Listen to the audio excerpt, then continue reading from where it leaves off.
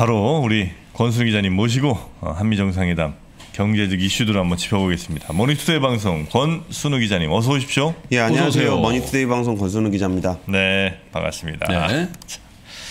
아 오늘은 아, 잘 좀 부탁드리겠습니다. 아, 지금 안 그래도 좀 노리고 있는 분들이 많아요. 지금 채팅창 보니까.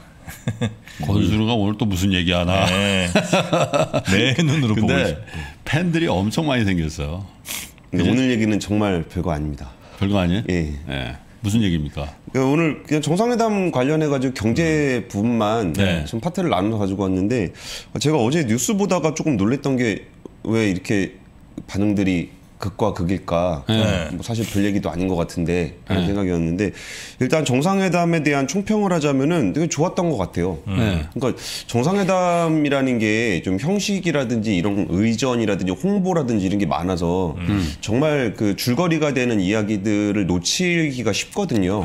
그렇죠. 근데 보면은 근데 사실 총평이 좋았다고 얘기하는 게 이렇게 분위기가 그렇게까지 험악하지 않았고 분위기 좋았죠? 예, 그리고 사실 굉장히 오랜 시간 동안 우리나라가 했던 정상회담이 네. 분위기가 되게 안 좋았었어요. 그러니까 엄청 안 좋았죠. 뒤를 돌아보면은 예전에 뭐 전승절 중국 전승절에 막로 올라서 칭찬 좀 받다가 네. 미국한테 또 엄청 욕 먹으면서 불려가가지고. 되게 망신당하고 그것 때문에 뭐 위안부 문제라든지 이런 것도 사인하는 경우도 있었고 네. 반대로 사드 배치 또 했다가 중국한테 보복당해가지고 또 엄청 고생하기도 또 했었고 오바마 대통령이 그랬잖아요. 네, 그 다음에는 pity라고 pity.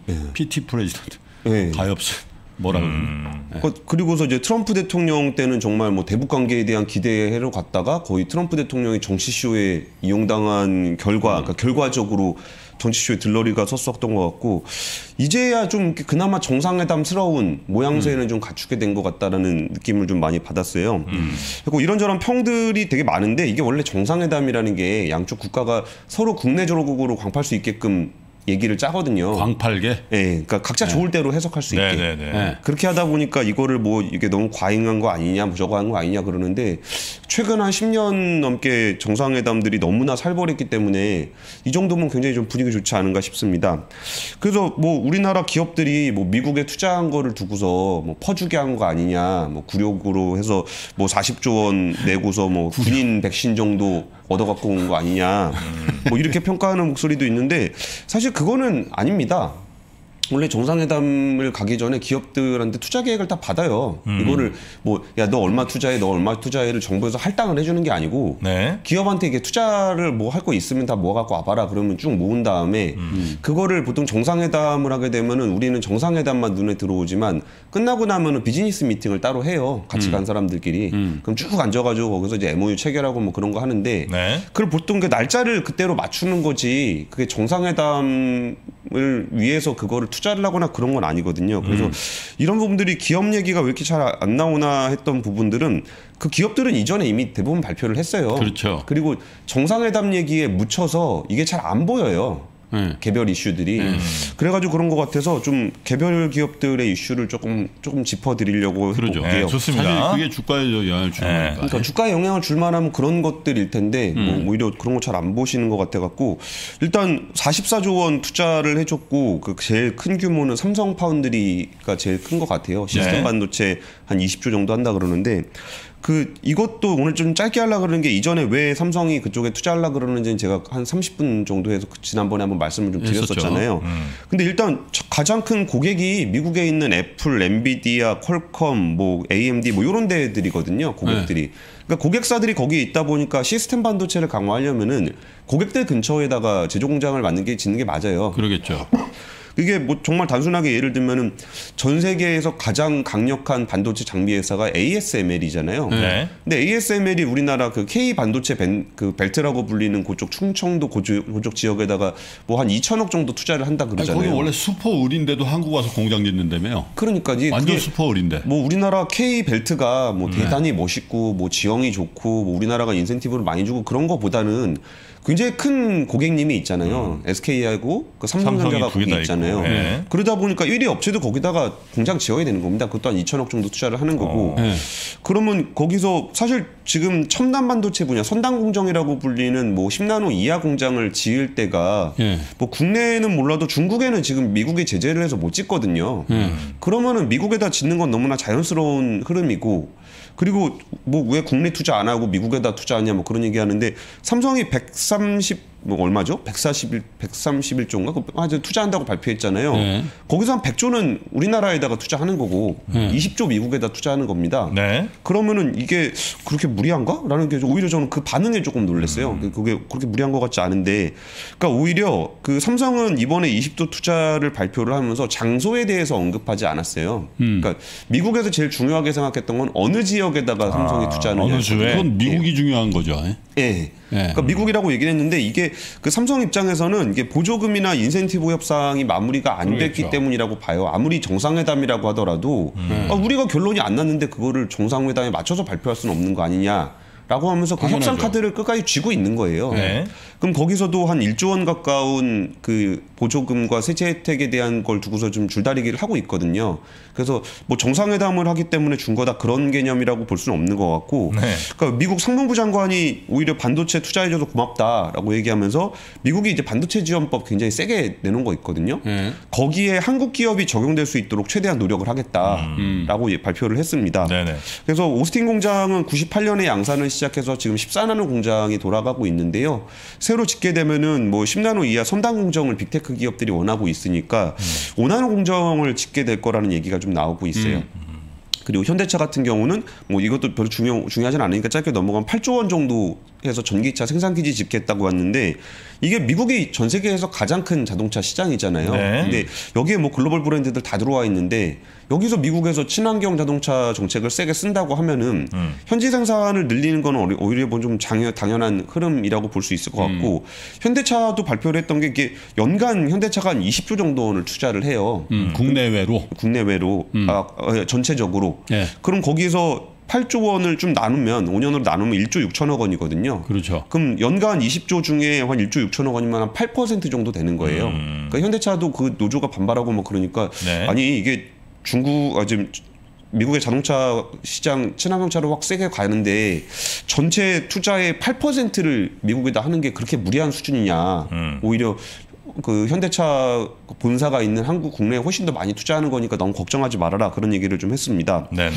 그리고 이게 원래 정상회담 때 이제 광파는 거는 누구나 이렇게 정상회담의 어떤 격을 맞춰주기 위해서 하는 경향이 좀 있고 이때 때를 맞춰서 하다 보니까 오히려 이 정상회담을 계기로 잘 되는 경우도 꽤 많아요. 그러니까 이거를 꼭 나쁘게 볼 필요는 좀 없는 것 같고 우리 기업인들을 좀 믿으실 필요가 있는 것 같아요. 이게 정무적인 것이 기업 비즈니스의 전부는 아니거든요. 아, 지금 뭐 그렇게 합니까?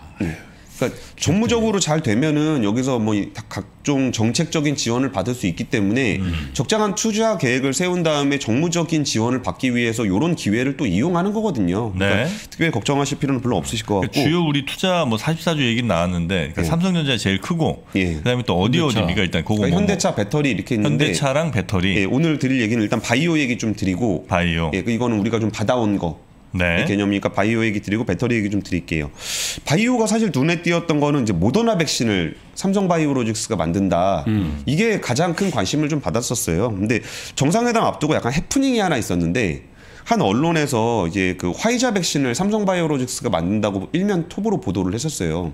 그때 그래가지고- 부인 공시했죠. 예, 그래서 공- 화- 주가가 엄청나게 올랐는데, 근데 갑자기 삼성 바이오 쪽에서 조회 공시를 통해서 아니라고 부인 공시를 했습니다.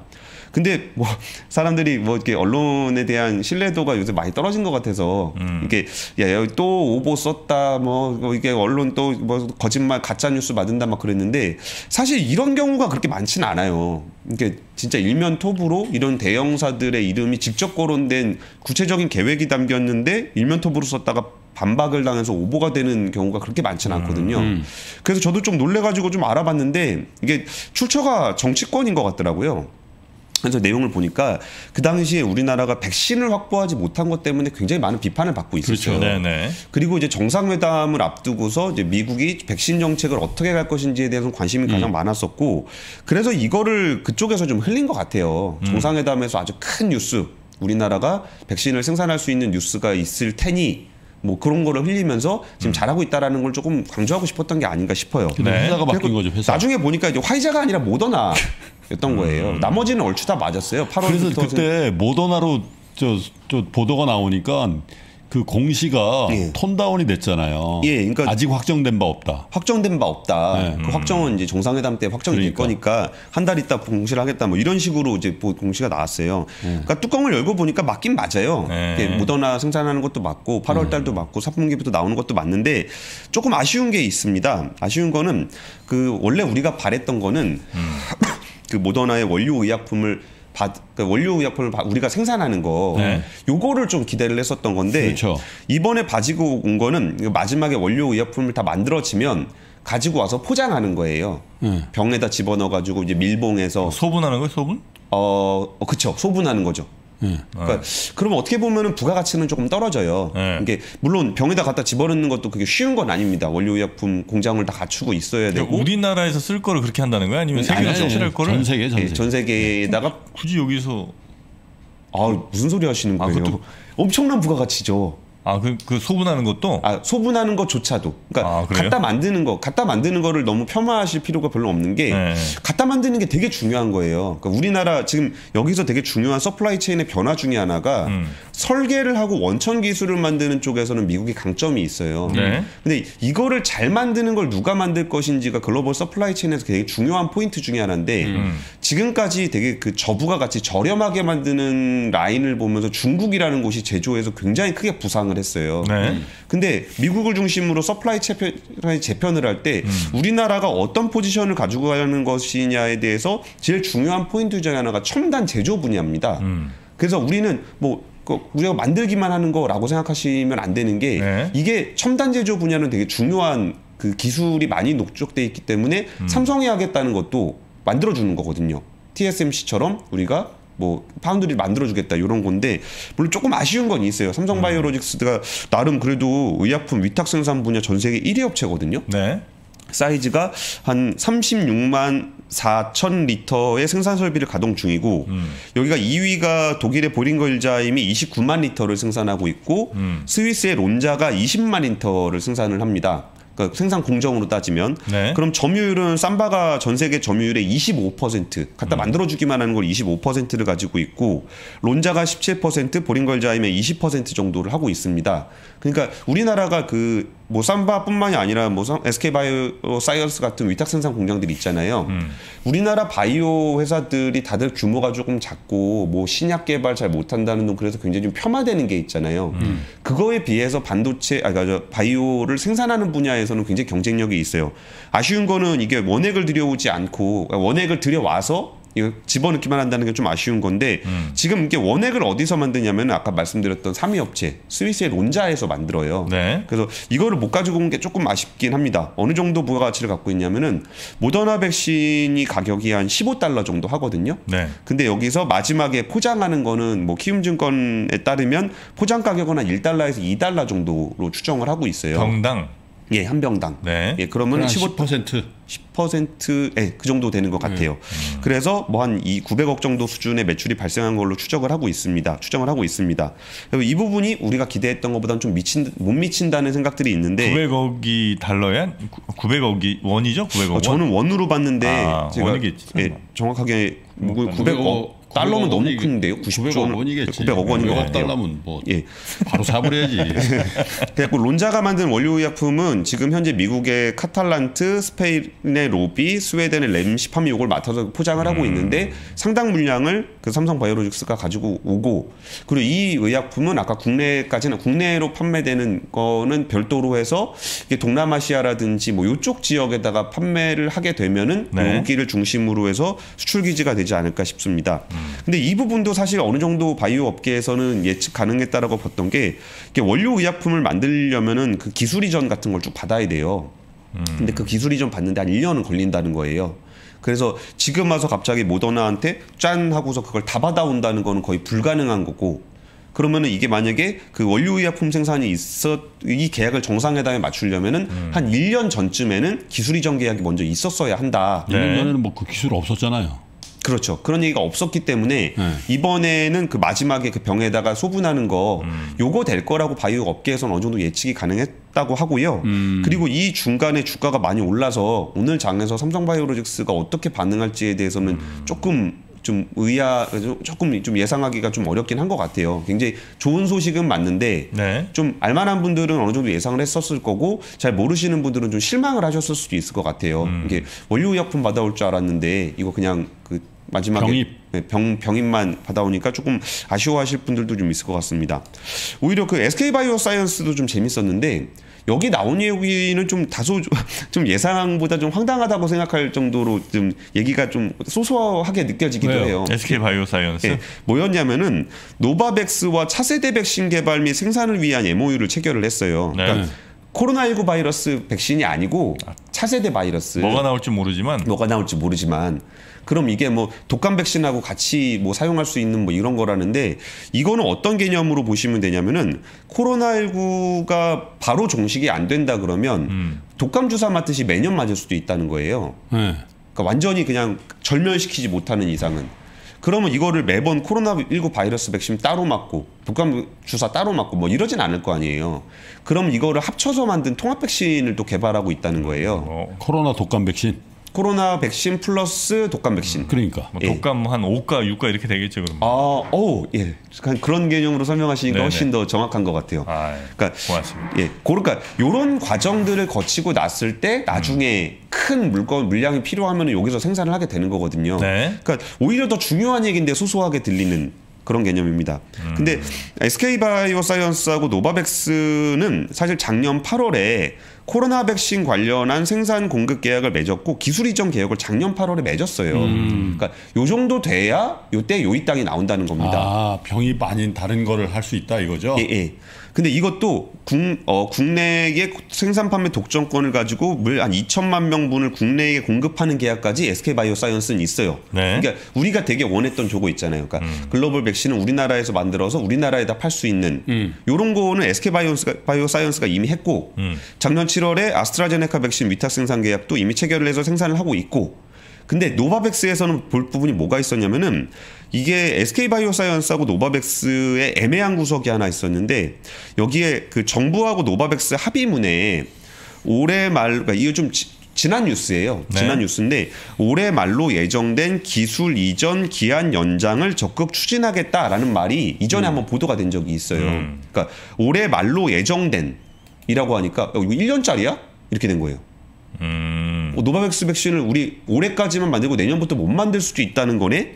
그러면서 여- 이 논란이 오히려 SK 바이오사이언스하고 노바백스의 제일 중요한 포인트였어요. 네. 그런데 이 문제에 대해서 어느 정도 가닥을 잡은 것으로 보이는 게 이날 정상회담에서 나왔는데 별로 눈여겨 보이지 않는 그 두 사람의 얘기가 문재인 대통령이 SK 바이오사이언스와 노바백스에 대해서 기술 이전 계약의 연장까지 기대하고 있다라는 말이 나와요. 음. 1년짜리가 아니다라는 얘기를 문재인 대통령이 했고 이거에 대해서 노바백스 대표이사가 또 뭐라 그랬냐면은 2022년, 23년에도 백신 공급을 위해 계속해서 공동의 노력을 기할 것이라고 얘기를 했어요. 그러니까 SK 바이오사이언스를 잘 계속 보시던 분들은 이 멘트를 굉장히 중요하게 보셨을 거예요. 네. 근데 정상회담에 수많은 멘트들이 있어서 잘 안 들어오는 단어인데 오히려 SK 다- 바이오사이언스와 노바백스에서 당장 뉴스가 되는 건 요 멘트가 될 거고 중장기적인 뉴스로 본다 그러면 아까 말씀했었던 차세대 백신 개발하는 쪽이 될 겁니다. 네. 좀 그리고 이게 지금은 굉장히 좀 rough하게 보이지만 나중에 굉장히 중요한 결론으로 나올 수도 있을 것 같은 게 바이든 대통령이 했던 얘기가 미, 한국은 매우 정교하고 뛰어난 회사와 엄청난 양의 백신을 생산할 것으로 본다. 2021년 하반기부터 22년까지 10억 명을 접종할 수 있는 분량의 백신을 생산할 것으로 기대하고 있다. 한국과 미국뿐 아니라 인도 태평양 지역에 백신을 공급하는 방안을 논의했다. 이런 얘기들이 아까 설명드렸던 백신의 바이오 supply chain 안에서 네. 한국이 인도 태평양 지역에 백신을 공급하는 생산 기지로서의 역할을 할 수 있을 거라고 얘기를 한 거예요. 그, 그 지역에서는 한국밖에 없어요. 그 요 코로나 관련된 백신 생산 업체가 어, 여기서 꼭 코로나로 한정하실 필요는 없는 것 같아요. 아, 그러니까 어떤 백신을 만들든 생산을 어디서 할 것인가에 대해서 인도 태평양 지역에 백신을 공급하는 지역으로 한국을 미국 대통령이 얘기를 한 거예요. 그럼 지금 코로나19 백신을 어디서 할 것이냐 말 것이냐는 이 백신을 하시는 분들은 어느 정도 가닥을 다 갖고 있어요. 이게 대통령이 만났다고 해서 1년 전에 해야 되는 기술 이전을 대통령이 만났다고 해서 1년 만에 할 수는 없잖아요. 그러니까 지금 코로나19 백신을 어디서 생산할 것인지에 대한 계획은 어느 정도 나와 있는 거고 그럼 앞으로 1년 후, 2년 후, 3년 후를 어떻게 볼 것인지에 대한 얘기가 오히려 정상회담에서는 더 중요한 포인트였다는 저 겁니다. 삼성바이오로스 관련해서 좀 정리를 하자면 네. 그 주고 싶어도 못 주고 받아오고 싶어도 못 받아오네요. 원액을 처리해서 이 병인 말고 그 전 단계는 예, 왜냐하면 예. 기술 이전을 미리 한 1년 전서부터 준비를 해야지만 그걸 할 수 있었을 텐데 예, 그리고 그 작업은 스위스의 론자가 이미 1년 전 이- 훨씬 이전에 다 계획을 해서 그 원액 생산을 하고 있는 거고. 그렇죠. 이 약은 그런데 지금으로 봐서는 1, 2년 기한부 약이니까 예. 그 계약을 하면 뭐 부가가치 높은 계약이 될 텐데 내년 이맘때 혹은 올해 말 내년 초에나 부가가치가 생기는 거니까 예, 예. 그걸 지금 한다는 게 의미가 없다 이런 얘기네요. 그렇죠. 그거를 지금 와서 얘기하는 근데 게왜 아쉽다 그러죠? 안 되는 걸? 뭐 기대를 했으니까. 아니 기대를 하면 안 되는 거라며요. 아, 그러니까 이런 뉴스들이 그러니까 그 정상회담에 묻혀서 이렇게 지금 정밀하게 보지 않으셔서 그런 건데 이 뉴스들은 사실 뭐 이전에도 정상회담이라고 해서 특별히 달라진 게 별로 없는 뉴스라는 거예요. 정, 정상회담이 있기 전에는 아무 일도 없었다가 정상회담이 생기고 나면은 뭐 짠하고 무슨 대단한 일이 생기는 게 아니고 지금까지 그 흘러왔던 뉴스 플로우들을 보면은 정상회담은 이런 거에 어떤 변곡점이 되는 거고 오히려 그 미래적으로 여기에 그 인도 태평양 지역의 이그 백신 생산을 비롯한 바이오 의약품의 생산 기지로서 한국이 부각되고 있다는 게 오히려 정상회담의 포인트지. 그 개별 이벤트 하나 하나가 정상회담을 통해서 변하는 건 아니라는 거예요. 그리고 SK 바이오사이언스 같은 경우는 이미 기존의 작업들이 다 진행되고 있었고 네. 여기서 조금 까리했던 부분이 야 이거 올해 말로 끝나는 거 아니야라는 우려가 있었는데 정상회담을 통해서 올해 말로 끝나는 건 아닐 거라고 우리나라 대통령과 노바백스 CEO가 얘기를 했다는 게 오히려 정상회담에서 눈여겨봐야 되는 뉴스라고 말씀을 드린 겁니다. 혹시 오늘 장에 막 영향을 줄 만한 그런 소식들은 없었나요? 오늘 장에 영향을 미칠 만한 소식을 지금 제가 말씀드린 거예요. 아, 이- 이- 삼바하고 사- 저 SK 바이오사이언스 예. 그러니까 SK 바이오사이언스는 야 이거 1년짜리 아니야라는 리스크가 굉장히 있었어요. 네. 그것 때문에 주가가 굉장히 눌려 있었거든요. 그러니까 이 뉴스 때문에 주가가 많이 빠졌어요. 그러니까 둘 사이의 계약 관련한 얘기는 공개를 안 하고 있는데 이게 그 어떤 합의문 정부하고의 합의문 때문에 공개가 된 게 있었어요. 그 연말까지로 된 거를 연장하도록 노력한다라는 거가 나오면서 시장에서는 야 이거 1년짜리였나 보다라고 해서 주가가 많이 빠졌다고요. 음. 근데 정상회담을 통해서 문재인 대통령이 야 여기 대, 여기에 대해서는 좀 잘 될 거라라고 얘기가 얘기를 했어라고 네. 얘기를 한 거고 노바백스 CEO가 아 내년 내후년에도 계속적으로 공급할 수 있도록 우리가 노력을 기할게라고 네. 얘기를 한 게 뉴스라는 거예요. 그러니까 기존에 1년짜리 아닐 거 1년짜리 아니야라고 했던 리스크를 이 정상회담을 통해서 네. 해소가 됐다는 알겠습니다. 오히려 그게 더 그권 기자가 볼 땐 더 좋고 큰, 큰 뉴스다. 큰. 뉴스죠. 예. 예. 그 차세대 진짜 우리는 네. 잘못 생각 하고 있네. 그리고 그 차세대 뭐 저 이동통신 장비 뭐 이런 얘기도 하지 않았습니까? 아 오늘 그 준비한 얘기는 아닌데 네. 한 줄 나와 있었거든요. 네. 그 5G하고 6G 여기 이제 그게 관심이잖아요. 아 그거 예. 오직에 관심 많아요. 오늘 준비한 얘기가 아니어서 아, 그렇습니까? 이거 네. 제가 따로 취재하고 있는 게 있거든요. 아, 따로 한줄 나왔군요, 한 줄. 야, 한 줄에 그냥 5G와 6G 뭐 이게 나와가지고 네. 이거 어 식스지가 무슨 아는 얘기- 것만 얘기해 보세요. 그러니까 뭐 그러니까 내용이 되게 방대한데 그 네. 문구만 그냥 문구에 대해서만 설명을 드리면은 갈급하니까. 그러니까 이 문구를 가지고 왜 다들 고민을 했었냐면은 네. 네. 어왜 6G가 여기 언급됐느냐에 대한 고민이 좀 있었어요. 아, 식스지는 말이 안 되죠. 그러니까 왜 그랬냐면은 5G 통신망을 만들고 있는 그 통신 장비 회사들이 국내 업체들이 굉장히 강해요. 그렇죠. 그 노키아라든지 이런 데는 5G 장비 잘 못 만들거든요. 네. 그래가지고 이제 삼성전자로 나가든 노키아로 나가든 우리나라 장비 업체들이 거기서 많이 나가는데 네. 지금 5G 통신 장비를 이제 잘 깔고 있어야 되는 타이밍에 잘 안 깔리고 있어요. 네. 근데 그게 중국도 그렇고 일본도 그렇고 우리나라도 그렇고 미국도 그렇고 막혀 있는 상황인데 네. 그럼 5G가 정말 제대로 잘 깔릴 것인가에 대한 우려를 하고 있고 그럼 5G만 얘기를 했다면 5G 장비를 많이 깔아주겠다라는 의미로 해석을 할 수 있을 것 같은데 음흠. 여기 6G가 나와버리니까 아유. 어 5G 건너뛰고 가는 거 아니야라는 해석이 좀 나와요. 아니, 건너뛸 수가 없지. 그러니까 고 어디를 건너뛰어? 아, 뭐가 있어야 건너뛰지. 그러니까 그 부분 때문에 5G 그 문구가 조금 논란이 된 부분이었습니다. 예. 그리고 그렇게는 못 건너뜁니다. 그 오늘 준비한 얘기는 배터리 얘기인데 아 배터리 가겠습니다. 늦게 예, 가겠습니다. 예, 예. 네. 그러니까 배터리 얘기도 이거랑 좀 비슷한 맥락인데요. 아까 삼성이랑 왜 여기가 140억 달러 투자하기로 했거든요. 음. 그러면 거기서 야 140억 달러 투자를 우리나라에다 하지 왜 미국에다가 또 해가지고 우리나라도 일자리도 없고 그런데 그러냐라고 얘기하는데 이 내용을 살펴보면은 LG 에너지 솔루션이 GM하고 합작법인 얼티엄 셀즈를 만들었거든요. 그렇죠. 그럼 여기서 그 GM에 들어가는 배터리를 만드는 거예요. 음. GM에 들어가는 배터리를 만들기 위해서 2조 7천억 원을 투자했고 그 다음에 추가로 또 2조 7천억 원을 또 추가로 투자해서 배터리 공장을 만들겠다는 건데 GM에다가 납품하는 배터리를 만들기 위해서 공장을 만드는데 이걸 한국에다 만들 수는 없는 거잖아요. 네. 지금 옆에다 해야 되겠지. GM 옆에다 해야 되는 거예요. 음. 이거는 되게 단순하게 보면은 현대차가 유럽에다가 수출하는 차량을 한국에서 일부 만들기도 하지만 체코 공장에서 만들어요. 네. 그러면 거기서 코나 전기차를 만들려다 보니까 그러면은 체코 공장에서 코나 전기차를 만들면은 배터리 회사도 그 옆에다가 배터리 공장 만들어야 되는 그렇죠. 거거든요. 음. 네. 그래가지고 LG 화학이 거기다가 그 당시 LG 화학이 헝가리에다가 배터리 공장을 만든 거예요. 그러니까 이거는 시장에 있는 데를 따라가는 거니까 이게 우리나라가 뭐 이렇게 뭐 미국에 뭔가를 뺏긴 것처럼 그렇게 생각하실 필요가 별로 없는 것 같고 여기에 뭐 SK도 그 공장을 만든다라고 했는데 SK는 포드하고 합작사를 만들었고 네. 이게 블루오벌 SK라는 데 설립해서 6조 원을 투자한다 그랬는데 블루오벌은 포드의 노라, 파란색 타원형 엠블럼 네네네. 그거거든요. 엠블럼 그거. 예. 그러니까 이건 포드에다가 납품하는 공장을 만든 거예요. 음. 그것도 조인트 벤처니까 돈도 각자 내 가지고 하는 나눠서 거잖아요. 내야 되는 거죠. 그리고 또 이제 폭스바겐에 들어가는 물량 만들려고 조지아에다 공장을 만든 건데 음. 그 폭스바겐 공장도 미국에 있어요. 아 그러니까 미국에서 팔 폭스바겐. 예, 거기 전기차 팔 거. 아. 그러니까 이게 배터리 회사가 왜 우리나라에다 안 하고 안 하냐고 미국에다 하냐? 그러면은 우리는 우리가 뭘 걱정을 해야 되냐면은 야 우리나라가 저출산이 돼서 시장이 자꾸 줄어들 텐데 괜찮을까?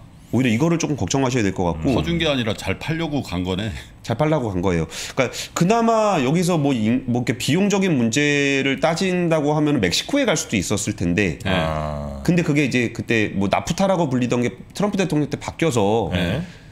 멕시코에서 부품 만들어 가지고 미국에다 파는 것도 관세 물린다 그래 갖고 네. 그래서 멕시코로 가기도 쉽지 않은 상황이고요.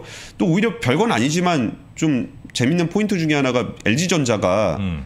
어, 세탁기 공장을 미국에다 증설한다고 엄청 잘 팔린다며. 근데 이것도 엄청 잘 팔려요. 세탁기가. 음. 그래가지고 이제 거기서 증설을 해야 되는 수요가 있는 거라 야 이거는 LG전자에는 굉장히 좀 중, 호재다라고 네. 볼수 있는 거고 여기다가 또 예전에 그 미국의 세탁기 업체 월풀이 요청을 해갖고 세이프가드 엄청 오래 맞았거든요. 음. 굉장히 오래 시달렸어요. 네네네. 근데 언제 또 이런 일이 벌어질지 모르기 때문에 현지 생 현지에서 워낙 많이 판매가 되고 있는 것에 대한 공장 증설은 뭐 우리나라 기업들에게는 그렇게 나쁘지 않은 뉴스라고 해석을 하실 수 있을 것 같아요. 네. 그래서 사실 오늘 시간이 남으면 그 메리츠 금융의 배당cut 관련한 얘기를 좀 드리려고 했었는데 시간은 시간이 안 되는 네, 것 같습니다. 그냥 오늘은 못 드리는 걸로 하고 네. 이거 상황을 보면서 포트폴리오가 굉장히 좋다는 느낌을 많이 받아요. 포트폴리오. 수출.